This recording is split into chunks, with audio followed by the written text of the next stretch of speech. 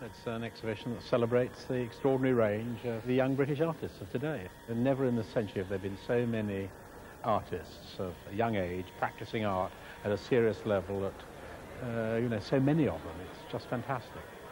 We're also celebrating the uh, involvement uh, in this new art of Charles Saatchi, who's uh, an extraordinary patron. He has a very, very good cross-section, both of artists who are established, relatively established, like Damien Hirst and Rachel Whiteread, and artists who are virtually unknown as well.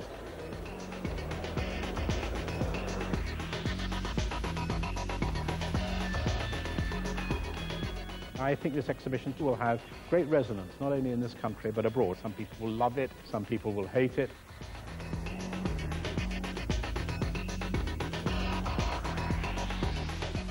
All art is controversial. It's about making people think, making them think about their own position, general world problems, problems of this country. I mean, all these things are reflected in individual works in very, very interesting ways.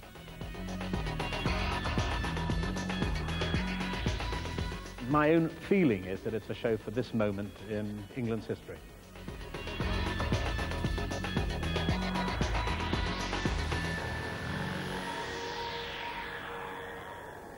Lots of signs at the gallery about a group called the Friends of the Royal Academy. It's been the enemies of the Royal Academy this week. Allison Pearson, are you an enemy? No, I, not not entirely. I mean, I, I think I, I was reminded as I was going round of the late great Frankie Howerd infamy, infamy. They've all got it infamy. I think in an age when the greatest crime you can commit is to be a nobody, then this this um, exhibition has got a true flavour of the times. I thought it was about sort of 70% cobblers and 30% art. I think amidst all the kind of shock horror you know, look at something, take it in, makes an impact for a second, and then you move on. Lots of very trivial, immensely fatuous stuff, but also I think work of great authority and um, uh, relevance and integrity. Um, Marc Quinn's amazing head made of his own blood, absolutely fantastic, tapping into lots of sort of classical illusions. Rachel Whiteread, Jenny Saville, Richard Patterson. There's some really great stuff in there. There's also an awful lot of um, cobblers. I thought Norman Rosenthal's reference there to a very good cross-section was presumably Damien Hirst, but what about the rest of it? Tony Parsons? well, I think I saw more cobblers than Allison. It does feel like an event. It's quite exciting to be in a, in a gallery when the security guards are being briefed and the, you know, the, their emergency signal, I learned, is um, Alpha Alpha, RA1, Tango Tango, and they're not allowed to say anything else when people start chucking the, uh, chucking the paint around. So they around. used it earlier today? They did. They must have used it earlier today. I mean, I thought um, a lot of it, most of it, was stale, shallow, puerile, flogging Marcel Duchamp's um, Dead Horse. And of course, the supreme irony of this show is all these wild young anarchic rebels are, are sponsored by a rich Tory moron. I mean, I, I, enjoy, I enjoyed that immensely. Tom Paulin. I, I, I, agree. For me, the hero was Richard Patterson. Uh, uh Allison mentioned there are two canvases, Blue Minotaur and Motocross, which are wonderful. His other two uh, are like Richard Hamilton. They're, they're, they're rather derivative, but these, these are fantastic. I also um, was deeply moved by, uh, I, you couldn't call it a life sculpture because it's of a corpse, a miniature corpse, dead dad, uh, with, with, the hands like that, you know, picking up Italian paintings of, of Christ on the cross. Uh, that, that, that was very, very powerful. I took to Rachel Whiteread in a way I hadn't thought, though she obviously owes a lot to Joseph Beuys, but the sort of edible quality of her work, you know, it's like halva or jelly babies, what it's made out of. Uh, it, it's strange and potentially, I think, um, very powerful. Uh, the, the, the brothers, the Chapman brothers, the, the really obscene one, I thought was in a way the most moral Talk work. about that in a moment. We need to talk about these works that have brought art um, into mainstream discussion. Uh, the first one, obviously, being uh, Marcus Harvey's Myra. Um, most people will know by now, but created um, by using the cast of a child's hand and putting paint over the familiar image as we see there, the newspaper image.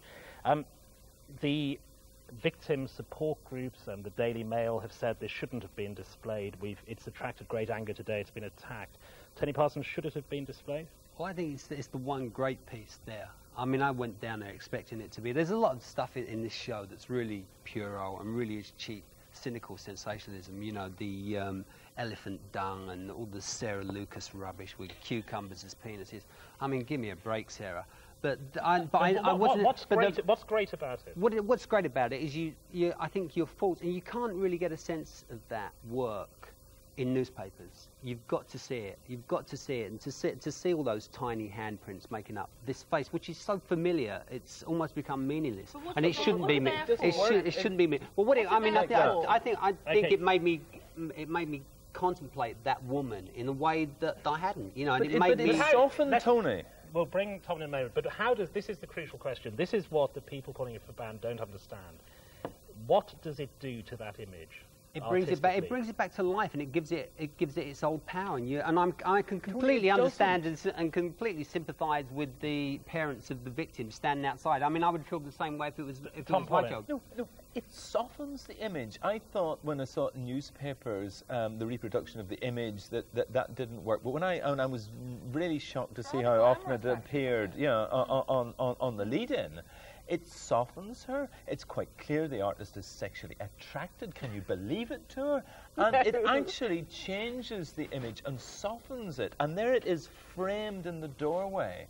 It's absolutely. Would you um, have withdrawn it from the exhibition? um, I, I I think absolutely. You think of the feelings of all the, the, the families of the So you, victims. you, would, you would have you would have Absolutely, banned it. should You would never banned it. have Okay. been Allison, displayed. would you have banned it from the exhibition? Yeah, I think it's I, I think it's a shameless piece of opportunism. I agree with Tony. I mean, it is immensely powerful, but I, I understood there was some explanation as to how this was supposed to reconnect us with the force of the original crime, and you just think, you know, come on, No, you're I, gonna I mean, to do I, better than that. well, I, I mean, I actually, I actually buy that. I actually do buy it. I didn't buy it until I saw the work, and the work convinced me that the intentions of the artist were honourable. I think in the context of this oh, show, oh, are they there's some, there's some, Now, let's- let's there's, move so, on. there's Yeah. so much cheap, cynical sensationalism in this show de- it degrades this. Now the second, let's move on to the second image, which has attracted the most um, controversy this week, which is Jake and Dinos Chapman's um, work, Zygotic Acceleration. We're seeing it up there, and this is a much more shocking image than the Myra one to look at.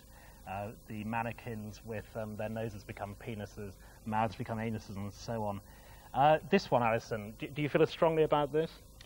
Didn't actually. I think I, I vaguely agree with Tom. I mean, I, th- I think a lot of these things are just they're just sort of shock. Isn't this terrible? Bullet hole in the head. Look, bullet hole in the head. Isn't it terrible? So you I think it is opportunism then? No, Again, no, not, no, I don't think of, no, I don't. I think it is sort of strangely moral. I think it is a profoundly creepy thing to look at, and it does hmm. sort of stir up lots of feelings about cloning and all the sort of issues around that. And, and, and I think what, what I what I felt very strongly was that it does have this sort of creepy kind of cast a sort of creepy kind of spell, which feels sort of authentically of the age, really. I- Tony, I one mean, of the I- few I- people no- defending Myra this week. Yeah, you no, I feel thought the same that. I think no, no, not at all. I think this is cheap, cynical garbage. I think they're using the bodies of children because it's the last great taboo in our society. Well, hang on. How, how is it, how is it, how is it different, Tony, from using that. from using the taboo of Well, Myra I, Hindley? I mean, all you, can, all you can talk about is your emotional response to a work, and all I can say is I just find Jake and Dinos completely devoid of any talent or any, any worth whatsoever, and I didn't feel that way about the, the Marcus Harvey Myra. I mean, this is just the way I respond. I just think it's ugly. It just made me think I don't want the catalogue in my house. It's just too puerile. Oh, it's too rubbishy. It's just uh, Tom you know, Paulin, it's just moving on to the, children. the exhibition as a whole, because concentration has been on these two particular images. There are um, well over 100 here. As an overall exhibition, does a theme emerge? Well, the theme is, you know, the desolation of living in the late 20th century, you know, the obsession with sexuality, the ex- uh, obsession with murder and death and the genitals. Um, Allison mentioned the one with the bullet hole, but it's also a vaginal I- image. There, there, there's so much that is, is grotesque, that's empty, the sense of, you know, a totally secular culture. Um, uh, completely at the end of its tether, exploiting children. There's a lot of paedophilic Im- imagery uh, put there, uh, I- ironically, saying to us, uh, th- th- this is what it's like, this is what the society's like, and, and it's horrific. But most of the stuff is rubbish. Yeah, I mean, I mean, well, Allison, the- the whimsical first- Well, on that point, Allison, if people who are prejudiced against modern art, and God knows it's a lot of people, if they went to this exhibition, would they come out feeling more kindly towards modern art? I don't know, and I just I do think we, we're we're we're, we're overstressing I, the, the sort of fatuousness of things. I think this is incredibly unfair. I do think there are really ser- serious artists in there. I mean, I think Tremendous stuff. There Old are. Rachel I think I, knows I, wait, several, Rachel yeah. White, I, but, uh, and, and Marc Quinn, as I said, this g- great, really great stuff, and I think it's incredibly unfair that it's all piled in together. I the thing that offended me most, far more than any of the things we've talked about tonight, is Sarah Lucas, who Tony mentioned earlier. Um, she's she's done this representation of a woman, two fried eggs for the breasts, and uh, a doner kebab for the genital area. um, and I think, again, you can imagine the male curator going along thinking, hey, this is a really searing indictment Mm. of the depiction of the female body in 20th Yeah, yeah. century culture. And all you think is, this is so disgusting. It's Trivial, against Absolutely, yes. and I, I, I and you just remember, think, you know, yeah. she can make Yeah. I remember the eat- eat her moment at the, the moment before at primary school when boys realised that if you have a, um, a cucumber and a couple of oranges, you can produce these genitals. And Yeah, well, uh, yeah, well, a male, a male artist couldn't do it. A male artist, you know, would, would, would be told to grow up. But um, a woman artist, as Allison says, you know, it's a feminist statement. Of course, it's not. It's, not, it's just trash. I mean, the first thing you notice, the first thing you see when you walk into the exhibition is Damien's shark, the impossibility of death in the mind of something living, and it's looking really tatty. The shark is Yeah. falling to pieces. Shark It's like Julian Schnabel's plates falling off the canvases. It's exactly the Lot same to thing. talk about, it's but we're going to have to leave it there. Last word from Tony Parsons. Sensation continues until 28th of December. Huge amount of discussion this week. Make your own decision if you want to go to the Royal Academy. We move on to